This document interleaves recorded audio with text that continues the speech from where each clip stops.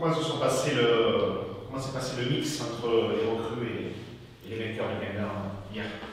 Ben, il est encore en train de se passer parce que je leur ai dit, euh, je leur ai dit hier, écoutez, c'est la, la première et la dernière fois que je, vais je parlerai des joueurs qui viennent d'arriver, parce que je pars du principe qu'il y a un groupe, hein, et donc les joueurs qui viennent d'arriver euh, se mêlent au, groupe existant, sauf que pour la bonne cause, c'est-à-dire pour l'organisation de l'entraînement, j'étais malheureusement, je dis malheureusement parce que pour moi ça y est, ils font partie du groupe, obligé de parler des joueurs justement qui venaient d'arriver. Mais ça s'est très bien passé et euh, voilà, je ne vous cache pas que tous ensemble on a revu euh, le deuxième but et la fin du match. Parce que je partais du principe que je voulais faire partager tout le monde. C'est des moments euh, d'émotion, quoi. C'est bien que tout le monde les partage. Vous avez aussi revu le match en... Oui, moi je l'ai revu de mon côté. Oui, oui, qu'est-ce que vous, à froid, qu'est-ce que vous avez retenu à part le résultat bah, J'allais vous dire. Le résultat, plus, euh, plus la, la, façon dont on a obtenu le résultat et ce qu'a engendré le résultat. Voilà ce que j'en retiens.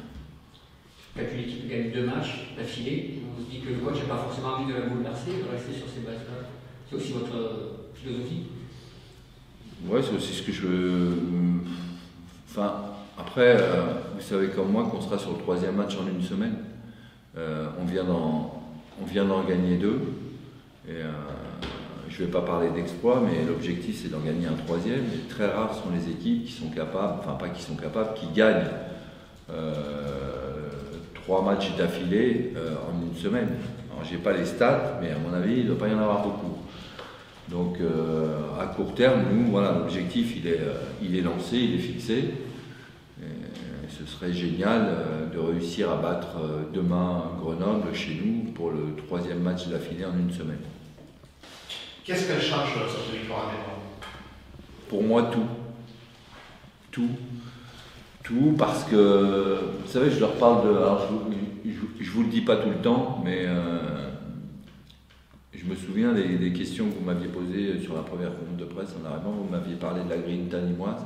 Et moi, je le savais, je, je connaissais. Et j'essaie, je pense que c'est mon rôle d'essayer de, leur transmettre ce genre de valeurs. C'est aussi le rôle de Benoît Poulain et de Nicolas Bénézet, qui sont des purs nimois. Mais nous, on doit faire en sorte, parce que ça fait aussi partie du travail de l'entraîneur, de faire perdurer ce genre de valeurs, parce que c'est quand même une, valeur, une vraie valeur du club, ça, la, grille tanimoise. Et ça, je pense qu'elle nous a servi. Euh, elle nous a pour, aller gagner à Guingamp, pour aller gagner le premier match de la, de la saison à l'extérieur. Donc ça, c'est important de ne pas le perdre et de le faire perdurer. Et je sens bien mon groupe. Il est rééquilibré. On n'avait pas de gaucher dans ce groupe. Voilà. D'un seul coup, ça se rééquilibre. Je le sens au travers de l'entraînement.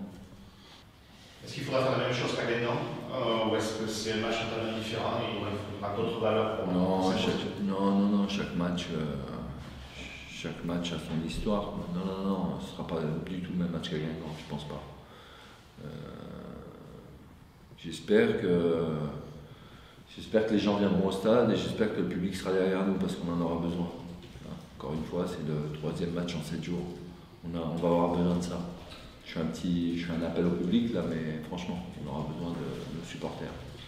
On en parle à chaque match à domicile, l'état de la pelouse, elle est comment Les euh, Je suis pas allé la voir, mais euh, le dernier match face à face à Niort, c'était beaucoup mieux, hein. beaucoup mieux.